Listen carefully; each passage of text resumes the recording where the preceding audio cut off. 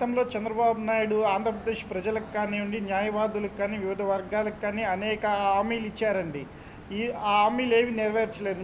ముఖ్యంగా న్యాయవాదులకు ఇచ్చిన ఎటువంటి హామీని కూడా నెరవేర్చడంలో విఫలమైనటువంటి చంద్రబాబు నాయుడు ఈ నా న్యాయవాదుల మధ్య ప్రాంతీయ విభేదాలు సృష్టించాలని చెప్పి ప్రయత్నిస్తున్నారు వారి వారి వర్గాలతో.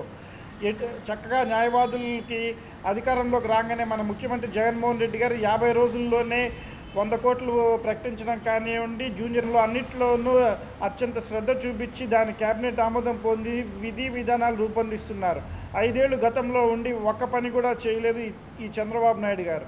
ఈరోజు హైకోర్టు ఇక్కడి నుంచి తరలిపోతుంది అని చెప్పి ప్రజల్లో ఒక భయాన్ని సృష్టించి ఆ భయంతో ఆందోళన కలగజేస్తున్నటువంటి చంద్రబాబు నాయుడు దాని మీద తన అభిప్రాయాన్ని కానీ ఇతర పార్టీలు ఏవి కూడా హైకోర్టు కర్నూలా ఇక్కడ ఏమిటి అని ఎటువంటిది కూడా అభిప్రాయం తెలపకుండా ప్రజ ప్రభుత్వం దీని మీద స్పందించాలి అని చెప్పేసి ప్రభుత్వం మీద ఒత్తిడికి గురి చేస్తున్నారు.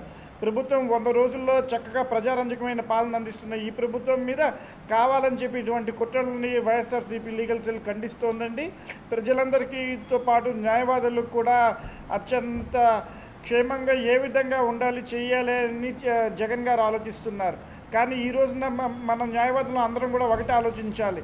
ఇట్లాంటి కృత్రిమ ఉద్యమాల్లోకి మనం మనం తలదూర్చి ప్రభుత్వానికి దూరం అవ్వటం ముఖ్యమా? లేకపోతే ప్రభుత్వంతో అనుసంధానం అయ్యి ప్రజలందరికీ కూడా మన మన న్యాయ సేవలు అందిస్తూ ముందుకు వెళ్ళాలా అనేది న్యాయ కౌదులైనటువంటి న్యాయవాదులందరూ కూడా ఆలోచించాలి. ప్రజలందరూ కూడా సుఖంగా క్షేమంగా ఉంటున్న ఈ సమయంలో ఇట్లాంటి ఉద్యమాలు కృత్రిమ ఉద్యమాలు సృష్టించి ప్రజల్లో భయాందోళనలు చేయటం సమంజ సమంజసం కాదని వైఎస్ఆర్సీపీ డిస్ట్రిక్ట్ లీగల్ సెల్ అభిప్రాయపడుతోందండి.